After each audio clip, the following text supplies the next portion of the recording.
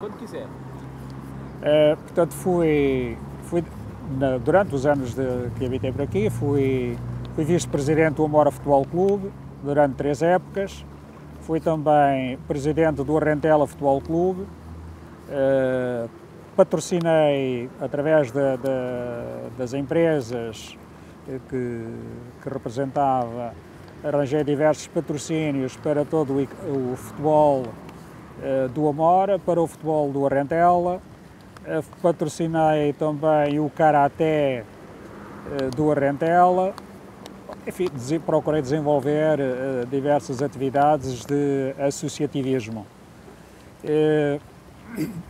Em relação à saúde, lutamos também pela construção do hospital, para que tenhamos mais saúde eh, e, e, dar mais vida às nossas populações, portanto, mais saúde, melhor saúde, não é?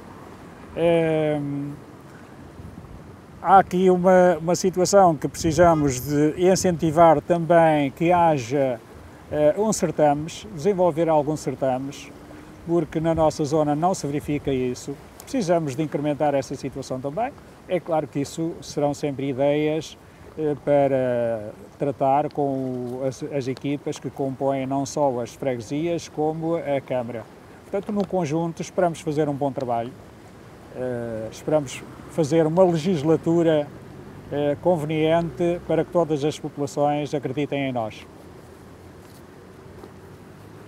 Bem.